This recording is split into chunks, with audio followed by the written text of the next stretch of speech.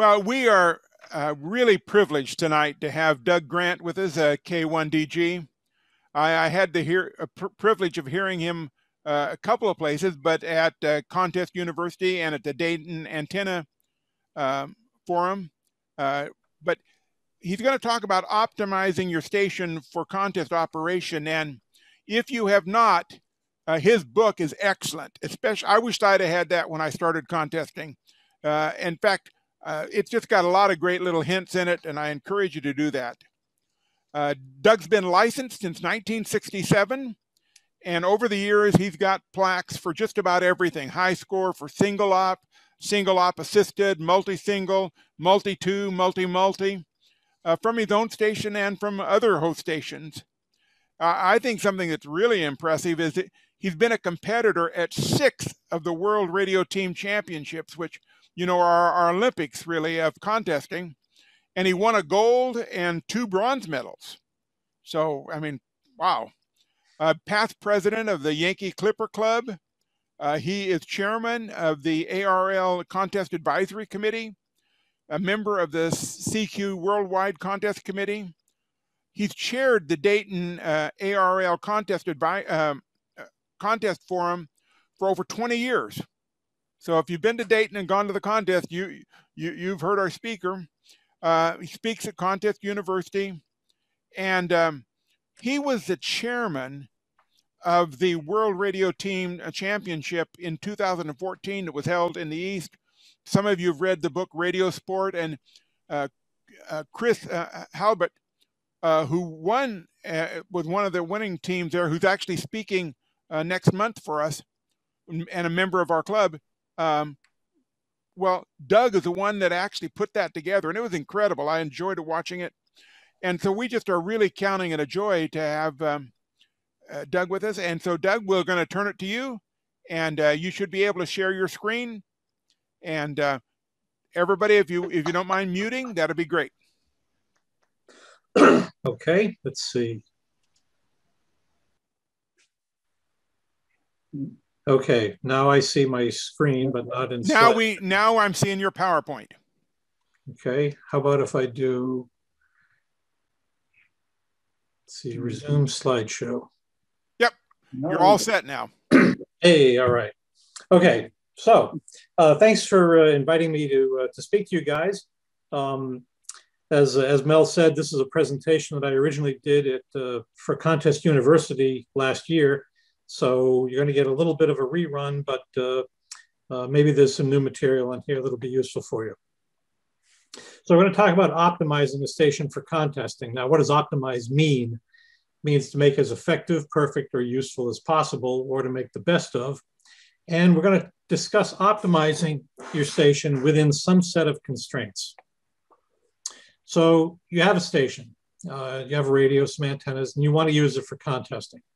First thing is you have to figure out what your goals are, figure out how much money you've got to spend and how much time. Uh, budget is uh, both money and time, and uh, figure out what uh, what to do indoors of your uh, with your station and what to do outdoors. First, let's talk about your goals. Think about what contests you prefer doing, whether they're domestic contests like the NAQP, sweepstakes, or sprint, uh, DX contests, or the WorldWorks World events like WPX and IARU, VHF contesting for that matter. And what modes do you prefer? Do you prefer phone, CW, RTTY, Digi? There's lots of things to, to figure out, and they're all going to impact uh, how you put your effort into optimizing your station. Now, what do you want to accomplish? Do you want to do better than last year? That's always a good thing. Do you want to beat the guy across town that beat you last year?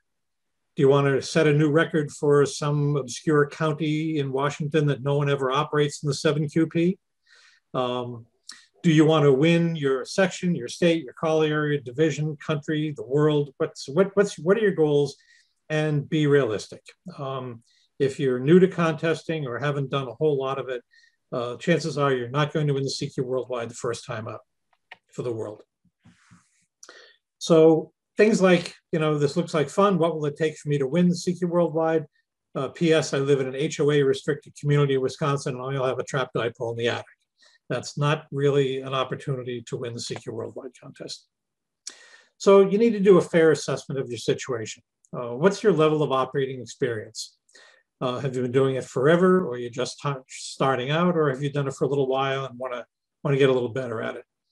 What's your station's real capability today? Um, that focuses on your antenna and your equipment. And do you have some real limitations on possible improvements, HOA, uh, living situation, whatever? And you have to establish your budget and your timeline. Improving your station capabilities is going to cost some money. And if you're not familiar with that big word, TANSTAAFL, it's an old term from economics that says there ain't no such thing as a free lunch. So everything costs. Now, those improvements can be incremental over a period of months, seasons, years, uh, and improving your operating skill actually costs nothing, just time. So you have to improve your station, which can be done gradually um, and uh, here and there, but improving your operating skill is just a matter of how much time you put into it. Now, when it comes to spending money, this is a quote that I saw online from W2RE, who's one of the movers and shakers of remote ham radio. And uh, somebody wants to win the CQ Worldwide and wants a remote contest station built in Maine. He's got a half a million bucks, and uh, there you go. So that's one way of solving the problem, but not everybody has that kind uh, that kind of money to spend on a contest station. So let's talk about the indoor improvements you might make to your station. Uh, when it comes to equipment, um, obviously people use transceivers now. If you're trying to do contesting with separate receiver and transmitter, you're living in the Stone Age, you need to buy a transceiver. Um, and you don't have to buy the latest and greatest one either. Um, pretty much anything made after 2010 is adequate. Um, a radio, if you look on the Rob Sherwood charts, uh, any radio with better than 75 or 80 dB of dynamic range is just fine for sideband. You need a little bit more for CW because signals don't splatter quite as far. Um, and uh, so you need a little bit better performance for CW contesting. Uh, a rig that was designed for mobile use is usually inadequate, but I'm not going to take sides on a particular manufacturer over another. Uh, choose one with a user interface you like, because that's really what it comes down to these days. Don't get hung up on buying the latest and greatest models. And as you can see, ICOM is one of the sponsors of Contest University, and Ray Novak cringes when I tell people that, but it's true. Um, and I can tell you for a fact that the CQ Worldwide Top USA score has been made several times using 20-year-old radios and even older amplifiers. So you don't need the latest and greatest. Now, optimizing the radio performance um, for receiving, um, it's very tempting to put the preamp on to try and boost those signals up. But the truth is you really don't need it, except maybe on 10 meters with most radios. Um, learn how to adjust your filters, especially if you have one of the newer radios that has uh, a lot of SDR filtering and the, DSP filtering. You need to learn how to adjust them um, so that you don't, uh, uh, you're not cutting out too much of the signal you want. Uh, we just had a discussion on the YCCC reflector where a guy who's just beginning to do CW contesting was looking for advice and uh, um, he was saying that he always operates with his uh, CW filters uh, at 150 hertz. And uh, a lot of guys jumped on him and said, well, you're missing a lot of guys if you're not using your RIT and turning around. Um, and so you really need to get comfortable with how to adjust your filters. Um, the radios that I've been using lately, I have uh, an ICOM 7610 on the desk here, and it's got very nice controls, uh, the twin passband tuning for um, cutting the high side of the filter or the low side of the filter. So yeah, you just need to get used to using those. And that's pretty much all you need to know about receiving. If you're in a case, a situation where you have very loud signals a lot of the time, sometimes writing the RF gain down will uh, help you to uh, separate signals calling in a pileup. On transmitting, uh, on sideband, you, you learn how to use your speech processor. Don't just jack it up all the way to 11. Um, that's uh, not a good thing. Listen to your monitor so you, uh, so you sound good. You don't want a whole lot of background noise. You also don't want to be too muffled and quiet. Uh, learn how to use your Vox. Um, there are several controls. Learn how to use them so that the Vox is not tripping when a loud guy calls in. Um, if you have a radio with adjustable CW rise time, get into that menu and uh, slow it down. A lot of radios are being shipped with rise times that are way too fast and cause key clicks, and you don't want to be a bad neighbor. other things that uh, you can do indoors in your station. Um, if you want to enter the high power category, obviously you need an amplifier. And uh, as people upgrade to the latest solid state and auto tune amplifiers, used tube amplifiers are becoming very, very available at excellent prices. Um, you can get AL 1200s pretty cheap. Um, that, that's what I use. Um, and uh, I, I have a couple of old Alpha 76s at my station in Maine that I use. And uh, 1500 watts from one of those are just as loud as 1500 watts from a KPA 1500 or a Power Genius or any one of those uh, other auto everything amplifiers. Uh, there's only a few knobs you have to turn. If you don't change bands very often, it's not that much of a penalty. Um, you need a computer that's capable of running contest software. Obviously, you don't need one as, uh, uh, you need one better than mine that's too slow going between tasks. Um, so uh, you don't really have to share your screen, but you have to be able to run the contest software. Uh, you need a comfortable headset. You can't really do contesting with a speaker. You need headphones. And if you're going to do a phone contest, you need a headset so your microphone's right in front of you all the time.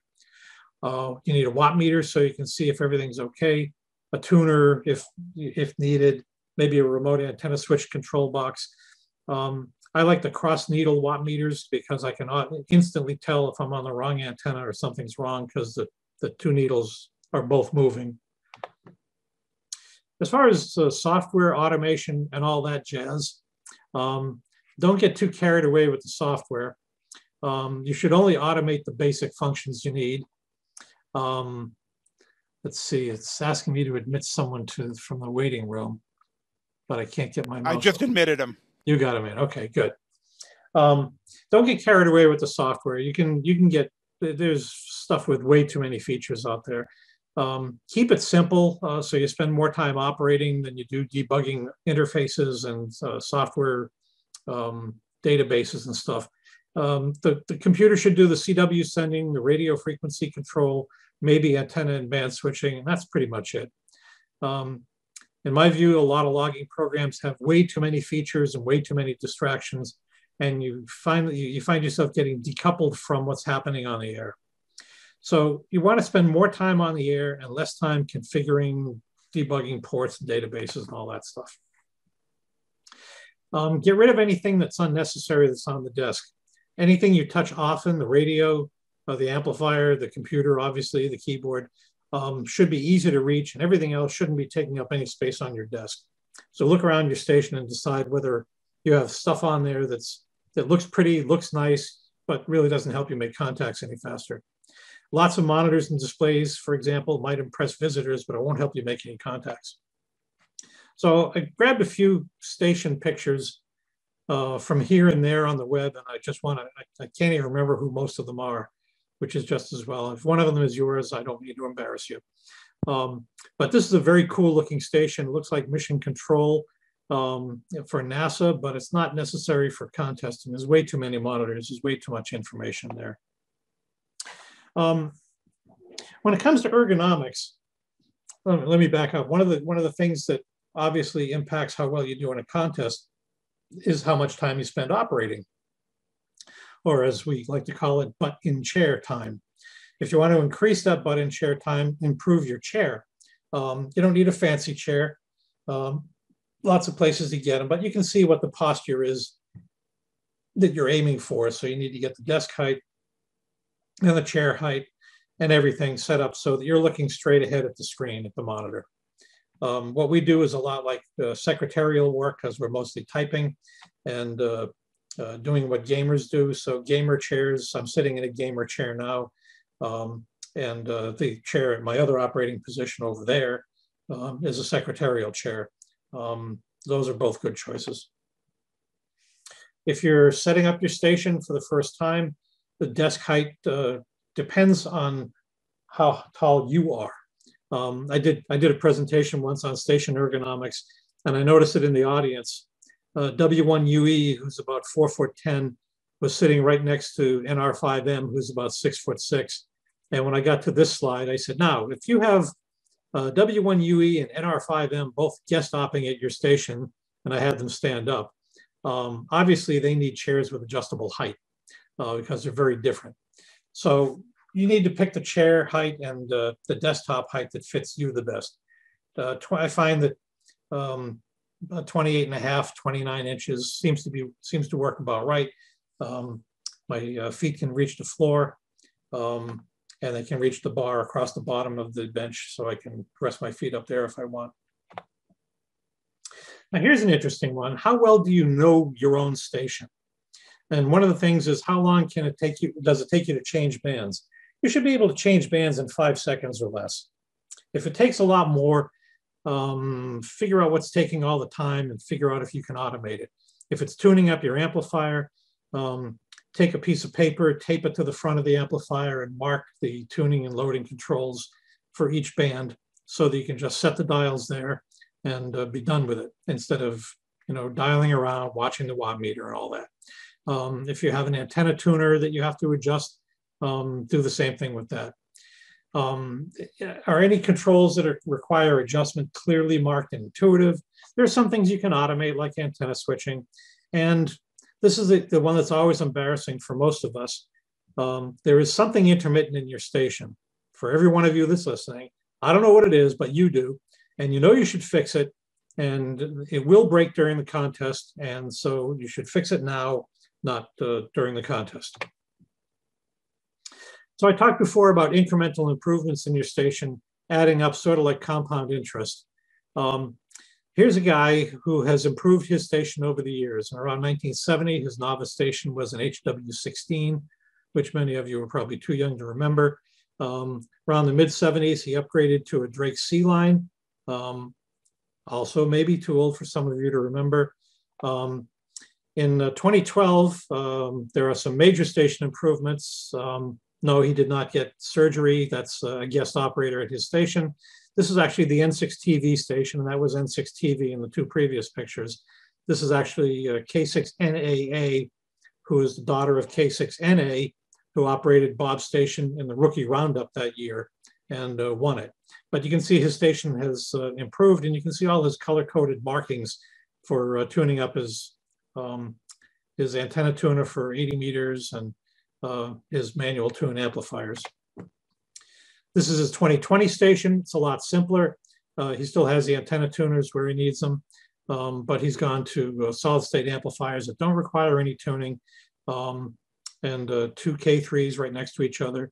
And uh, it's a very efficient, very compact station. So let's look at a few other stations. Um, this one, uh, the radios are too far apart if he wants to do single op two radio. Um, and uh, the paddle and the key are too far from the left radio. If you have to send, if he has to send by hand while he's uh, tuning something in, he, he's gonna have very, very long arms. So this is a station that has too many speakers. I see two of them on the desk there. There's probably another one around someplace. And uh, he only has one rotator. So he's got the uh, speaker to rotator ratio is all wrong. This guy's got plenty of rotators. That's good. I don't see any speakers. That's also good. Um, but I think he's probably got too many rotators. And if he can remember which rotator is on which antenna, he's uh, probably doing okay. But uh, boy, that's a lot of work to think about all that. Here's a station went a little different direction. Um, this is a station set up for single op 2 radio, and you don't see any rotators. Um, the station was uh, the old HC8N location in the Galapagos, and they just pointed everything's sort of north. Uh, some antennas fixed on Europe, some fixed on the US, and uh, just switch between them. There was really not much need for a rotator there, and they couldn't keep them working anyway in, the, in that environment. Oh, but that keyboard is way too small. You, you need a real full-size keyboard. You can't really type on a laptop keyboard. Here's another station. I think the radios are up too high. The monitor is up way too high. That's a stiff neck just waiting to happen. Uh, this guy's got two monitors. Uh, I don't know if he's doing single op four radio low power. I don't see any amplifiers there. Uh, or maybe I'm just seeing double. Um, but uh, those radios up top are probably not going to get used in the contest. This station is just way too neat. I, I, no one, no one should see a station like this. There should be some paper scattered around and um, some cables hanging all over the place and um, that's just no good at all. This is much more like it, except that there's a lot too much, there's too much manual switching. One thing that's nice about, nice about this station is the radios are the same and the amplifiers are the same. Um, and if you have a spare uh, one of each, that's even better. Uh, so you know kind of how everything works and you don't have to remember this radio tunes up this way and that radio or that amplifier tunes up a different way. Um, so this is not too bad, but it's very manual and some automated antenna switching would go a long way. This is also a very nicely arranged station. Uh, the VHF contesting position on the left, HF contesting position on the right. You see the amplifiers are up high. I've seen some stations where guys put amplifiers and then put a shelf on top of them. That's a good way to lose, lose your tubes because things will get too hot. This guy's got some big monitors. Um, I think maybe he's compensating for something else in his life. I don't know, but um, I don't think you really need that much of a display. Okay, so there's some critiques on stations inside, indoors. Let's talk about things you can improve on your station outdoors. Um, your antenna system is obviously the thing I'm talking about, and that includes everything in the system, feed lines, connectors, and the antennas. The optimum type of antenna and height might be different for different types of contests and your location. There are lots of other talks about antenna stuff in past CTUs, but antenna system improvements are usually the best bang for the buck in station improvements. That's where you can make the biggest difference for the least amount of money. Now here's some interesting data that uh, you might want to file away for future reference. A 1 dB improvement in your signal corresponds to a 6% improvement in your contest score. Okay, so if you want your score to be bigger, you can move from low power to high power. That's a good thing. And uh, we actually had an interesting test case with that. Um, back a few years ago, N1UR, who usually operated low power in the CQ Worldwide, switched to turning on an amplifier. So he was the same operator, same antennas, same location. All he did was turn on the amplifier. And his score increased by about 70 or 75%, which you would figure out from 13 dB um, of improvement um, at 6% per dB. And you can see there um, the red curves are the top high power scores for several years. And you can see N1UR in 2014 jumping up to the high power category and his score going way, way, way, way up. And uh, that's uh, just by turning on the amplifier. And it's fairly linear, I think, um, so that if you, uh, if you can add 3 dB, you can improve your score by 18 or 20%. So every dB counts. So by improving your antenna by 1 dB, it'll improve your score in the same category. The first few dB are not too expensive. Let's talk about 15 meter antennas. If your antenna is a ground plane or vertical on poor ground, it's a zero dBi antenna. Um, and it works, as they used to say, equally poorly in all directions. Now, you probably learned at one point in your life that a 40 meter dipole will load up on 15 meters, and it will, and it's got about 2.8 dB of gain. And I'll say that a dipole costs about 50 bucks to put up. That's 18 bucks per dB. A two element wire beam pointed in a, direction you like, that's 5 dB of gain. It's about the same cost as two dipoles, still about 20 bucks per dB. But after you get to 10 dB improvement, each additional dB costs a lot. You can see in that range on the left from going from a, a dipole to a, a three or four element beam, the slope of that curve is about $200 per dB. Um, when you've already got a six element beam and you're going to try and improve that, that dB from 11 dB of gain to 12 dB of gain costs about $800. So it gets very expensive up at the high end. Now for the high bands, a tower mounted beam is a very nice thing to have, but there are lots of hidden costs, not just the beam. You've got the rotator, the rotator cable, um, the mast, the concrete, the guy wires, all the stuff that goes along with that. There are lots of options for towers, and I'm not going to recommend one over another. I will say that safety is first. Contesting should not be a life-threatening sport, so you should hire competent help and learn from them. Um, have your tower put up and your antennas put up by someone who knows what they're doing. Improvements on the low bands are hard um, because antennas are bigger and working DX especially uh, requires pretty good antennas. On 40 meters, you can see what the progression is. If your baseline antenna is an inverted V at 60 feet, um, moving to a two element shortened beam um, at the same height is a pretty big improvement. That's five or six dB of gain um, and uh, or nine or 10 dB over real ground. That's 4 dB of gain over the uh, inverted V for about a thousand bucks, 250 bucks per dB. The scores improve, improves your score by 25%. It's probably actually better than that because when you put up a beam, it tends to concentrate the energy at lower angles rather than spreading it out all over the place. If you can't afford a beam and everything that goes with it, a vertical array or sloper array uh, that gives you some gain at low angles is a big improvement. On 80 and 160, if your baseline antenna is an inverted V at 60 feet, um, it's that's basically a cloud warmer, radiates mostly straight up. A half sloper or vertical array is a good thing to do. Verticals need lots of radials to work well. Arrays of verticals need phasing boxes, which you can build um, or buy.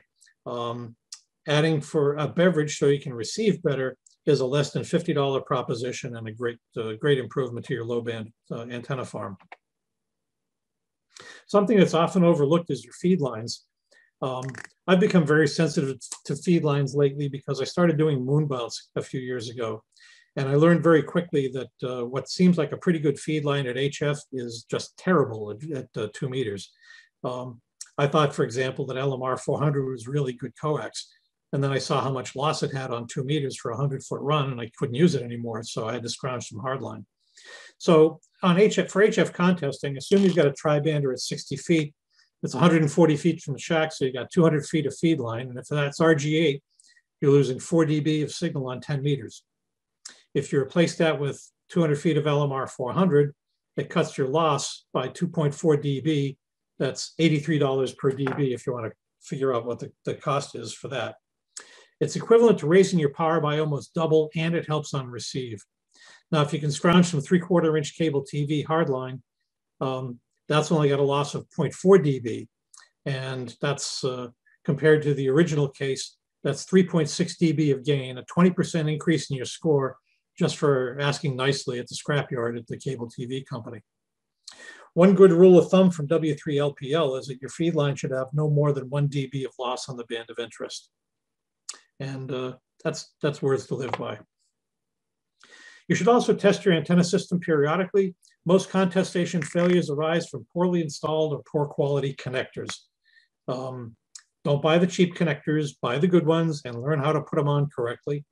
I was always a big fan of soldering connectors and uh, last year I went on a, a, trip with a few other people who were doing some antenna work uh, to get ready for the DX contest um, on uh, Roatan Island uh, at HQ9X and uh, they had to build a couple of feed lines and they had crimp type connectors. And if you have the right tool, that's really fast and really reliable. And I came home from that operation and I ordered the right crimp tool so I could do it myself. And I haven't looked back. So uh, crimp connectors are great if you have the right tool for it and learn how to use it. Um, so connectors are really, really, really, really important. Um, another thing that's a problem is using mystery coax that you got at the flea market. Um, you should get an antenna analyzer and measure the loss of the coax before you use it, um, or you'll have an unpleasant surprise. Location is really important when it comes to contest stations. It takes a Herculean effort and a lot of money to overcome location problems. And by that, I mean either geography or terrain. Um, you know, I mentioned just before we got started that I've been casually running some Europeans on 80 meter FT8 to get the amplifier running and warm up the shack here a little bit. Um, I know you can't do that very well from Spokane, so that's a geography issue. Um, if uh, you have local terrain that prevents you from getting out, that's a big problem. Obviously, the right location makes all the difference. Hilltop and coastal locations are good. Valley and desert locations are bad, except maybe for sweepstakes if you're out in the desert of West Texas or New Mexico. Those guys tend to do very well in that contest. If you are in the wrong location and it is really important in your life to be doing better in contests, you got three, three options. You can move, you can go guest op somewhere, or you can operate remote. And there are lots of options for remotes. Uh, you can rent one that's out there. You can build one with a buddy of yours or a few buddies or a club or whatever. Um, so lots of options for doing remotes. But overall, the most important part of your contest station well, what do you think it is? You think the equipment is the most important part of your station? You got to have one of these. You got to have a, a, fancy, shiny new radio. Um, Uh, maybe you think it's antennas. Is that the most important part of your station? How about having a big rotating tower with a giant stack of uh, long boom tribanders like that? Uh, is that going to make the biggest difference in your station? How about location? Uh, that's one of the remote ham radio stations. That's Jonesport, Maine, uh, looking out over the Atlantic Ocean from not too far away. Um, location is important. Is that the most important thing? Nope. Most important part of your station is the guy you see in the mirror. Um, hope it's not this guy, Stuart Smalley. Uh, he's not the most important part of your station. Um, I don't. Uh, I don't think Al Franken even has a ham license. But uh, the fact of the matter is that the operator is the most important part of the station. All the other stuff is nice and will help you do a little better, but you get more improvement from being a better operator. Um, that guy used to come on, by the way, and give a little talk of daily affirmation. He used to say, I'm good enough, I'm smart enough, and by golly, people really like me. Um, I guess there's a ham version of that, which is I'm strong enough, I'm fast enough, and people really want to work me. Um, if you say that a few times, maybe it'll help.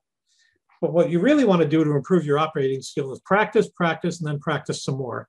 And I mean real kidding, real no kidding, butt in chair practice, not just clicking on the cluster. Um, that uh, doesn't really improve your operating skill very much. Um, you should operate lots of little contests, even if you can only put in a few hours. You can operate between contests, even on FT8. Uh, that'll help you to learn propagation, which bands are open, at uh, what time for your station. You can work on CW copying, work on uh, timing of your calls on, on sideband. Call sign recognition is important. You hear the same call signs over and over again. You can hear two or three letters and, and miss a few and still guess who it is. You'll get to know propagation better too. Here's a game that you can play that'll help your operating skill um, turn on your radio, find a band that's open, and tune through the band for five or 10 minutes and write down all the calls you can copy. And then when you can't copy anymore, check the DX cluster or the reverse beacon network and see how many calls you found and how many good ones you missed. And the skills you'll pick up there are moving quickly through a band, identifying calls, uh, not staying too long when the guy's not signing his call, things like that. And uh, if you can beat the spots, I love it when I find stuff before the uh, cluster, the guys on the cluster find it, or before someone pops up on the RBN. That's that's uh, that's a great challenge.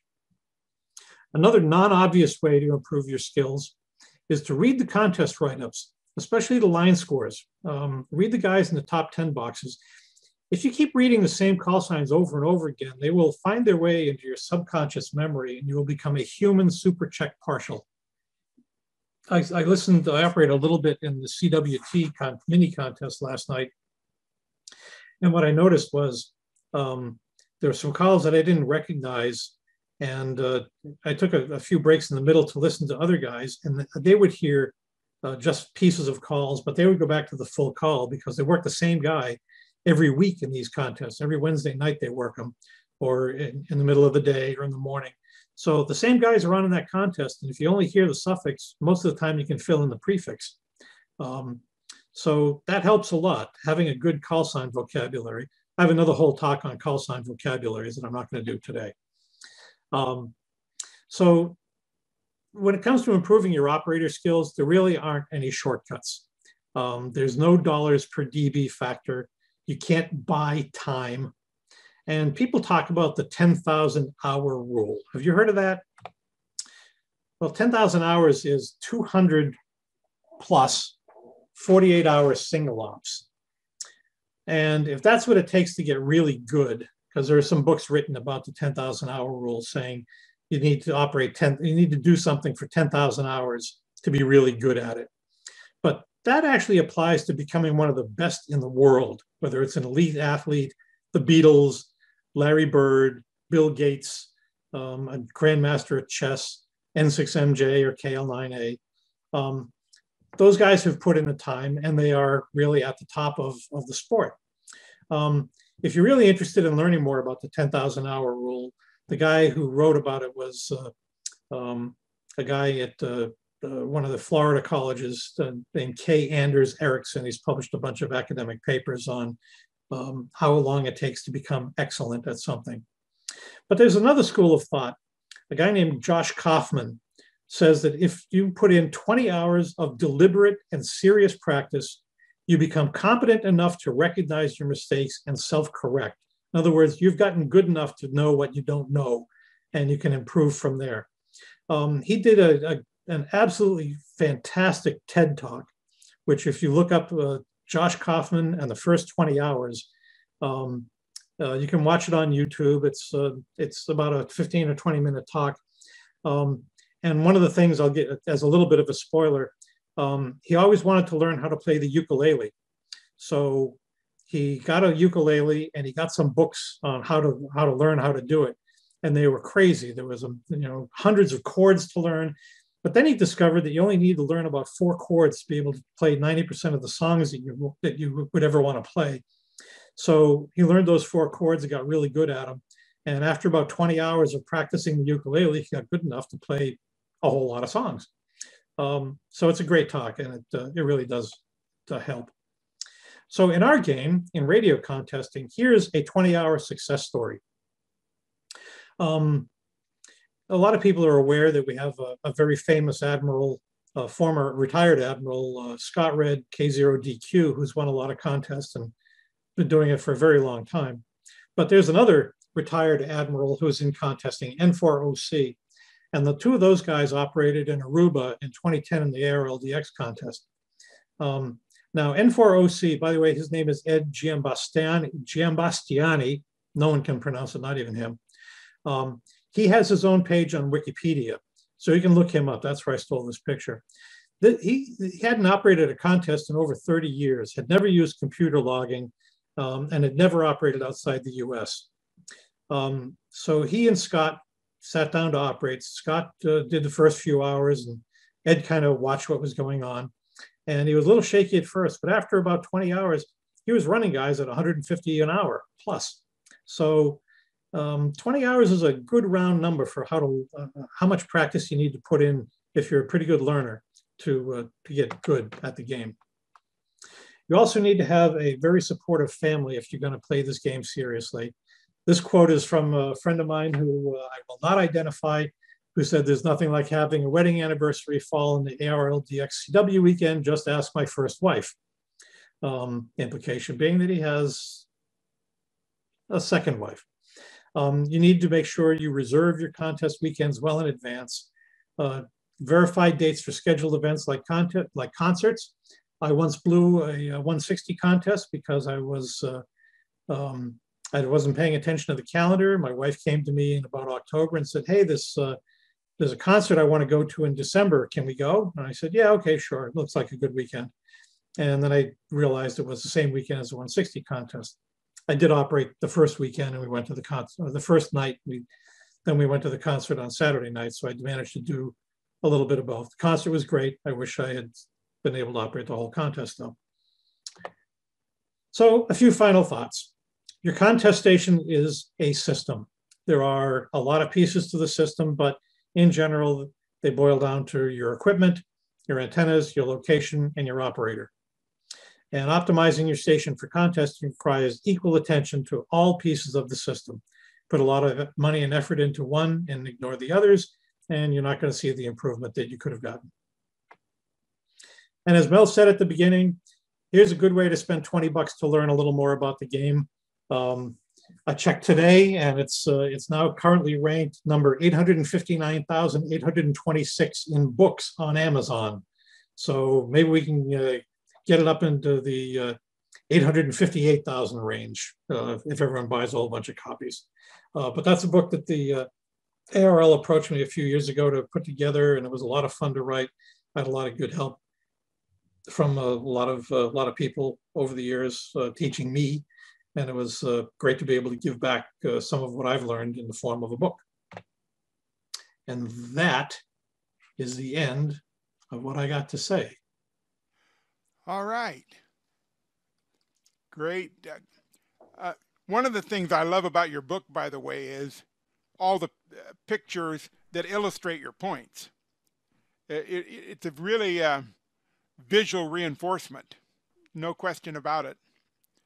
Uh, and uh, the other thing I that surprised me that how much I liked is actually the definitions at the back.